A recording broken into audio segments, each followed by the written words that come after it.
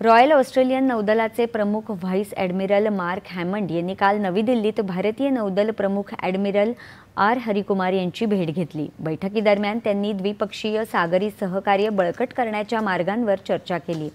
त्यात वाढीव परिचालनात्मक सहभाग प्रशिक्षण देवाणघेवाण आणि माहितीची देवाणघेवाण यांचा समावेश आहे. तत्पूर्वी मार्क हॅमंड यांनी राष्ट्रीय युद्ध स्मारकावर विधिवत पुष्पहार अर्पण केला.